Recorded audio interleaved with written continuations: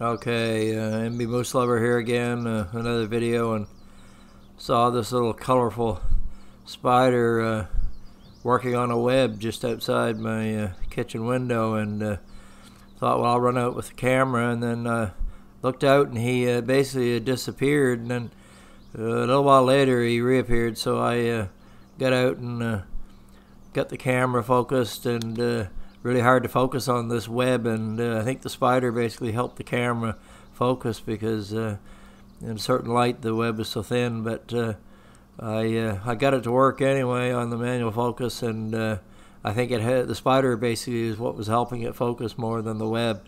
Um, and uh, so anyway, he's going around here, and it would have been nice to get him doing the whole web, but I feel lucky to get what I did. He's going and doing the inside track here, and he's this is actually the speed. This is actual speed of him, and uh, it uh, it would have been a lot longer video if I just had a finished it all with him. And that uh, and now he's uh, I think we're at the point where he speeded up here. I just sped it up so he goes a little faster here, just uh, so the video wouldn't be so long. Um, so, uh, but anyway, he's he's going around, and it's amazing. he's he or she. Um, is attaching the web, uh, of course, using his hind legs, and uh, they're feeding. He's feeding the web out from his abdomen, and then uh, he's using like one leg to kind of, you know, stick it to the main guy wires, and and uh, it's really awesome to see how they actually uh, can do it uh, so quickly and and effortlessly. Really, it's like you know they I don't know if they're born with the instinct to do it. I would almost think, um, but uh, he's going around, around, around here, and then uh,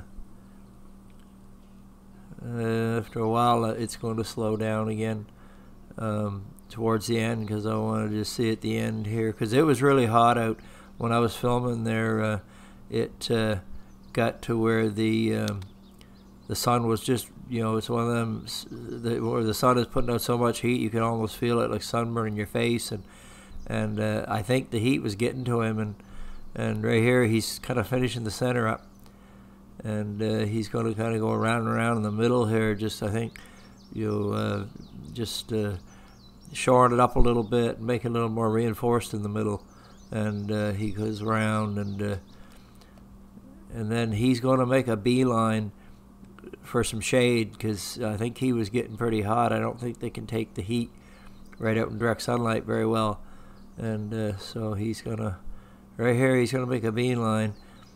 And he kind of damages his web here because he's kind of dragging his hind feet and he, he has a hard time. I don't know if the web is sticking to him too much or, and then he'll go right up his web, up this pole, just as fast as he can and he's like, I'm getting out of this sun. He says, you know, I'm out of here. And and then uh, I go around the other whole side of the hole. There he is there, and he's up in the corner under a rope, and he still see he's got a little web tied to his foot. But he's like, I'm staying in this shade. It's just too friggin' hot. But it was quite a video.